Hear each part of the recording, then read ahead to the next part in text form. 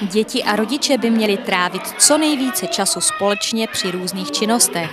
Touto myšlenkou se řídí klub rodičů při mateřské škole v Píšti a tak pro děti a jejich rodiče pořádají pravidelné společné akce. Dnešní odpoledne jsme tady strávili rodiče s dětmi v rámci chystání velikonoční výzdoby. Děti s maminkami, s babičkami, s dědečkami tady vytvořili krásné vajíčka, eh, dokonce se pletlo i sproutí, tady krásné ošatky. A šlo nám hlavně o to, aby se, jsme se spojili všichni a zažili krásné odpoledne a hlavně se krásně velikonočně naladili. Na stolech ve třídě mateřské školy vznikaly po celé odpoledne veselé velikonoční kraslice, jarní vazby a velikonoční přání. Především rodiče si mohli vyzkoušet pletení z pediku.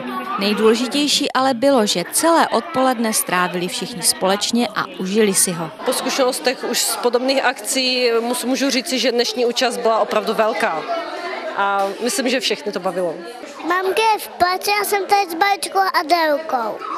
No, přijela jsem ze Zavady a zkouším tady ples z pediku. Bylo to velice krásné tvoření, velikonoční, takové inspirativní.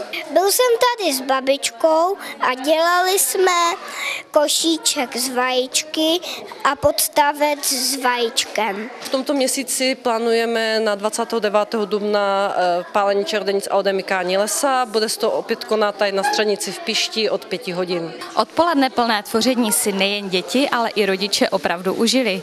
Spíště Eva Ilková.